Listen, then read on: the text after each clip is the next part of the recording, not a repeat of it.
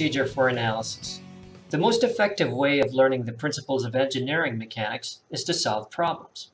To be successful at this, it is important to always present the work in a logical and orderly manner, as suggested by the following sequence of steps. Number one, read the problem carefully and try to correlate the actual physical situation with the theory study. Number two, draw any necessary diagrams and tabulate the problem data. Number three, apply the relevant principles generally in mathematical form.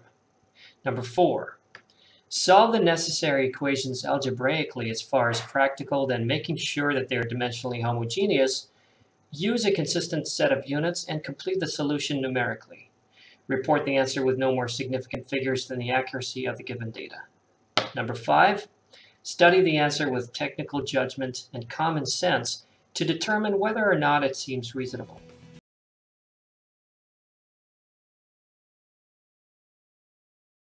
Remember that when solving problems, do the work as neatly as possible. Being neat generally stimulates clear and orderly thinking.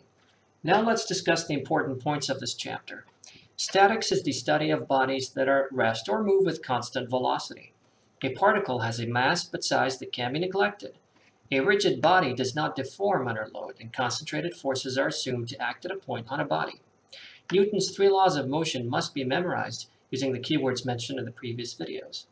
Mass is a property of matter that does not change from one location to another. Weight refers to the gravitational attraction of the Earth on a body or quantity of mass. Its magnitude depends upon the elevation at which the mass is located.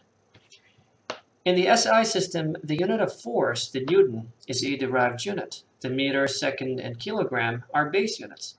Prefixes giga, mega, kilo, milli, micro, and nano are used to represent large and small numerical quantities. Their exponential size should be known, along with the rules for using SI units.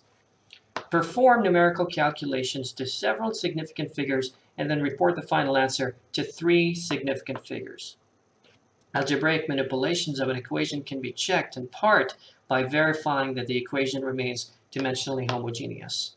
And finally, know the rules for rounding off numbers.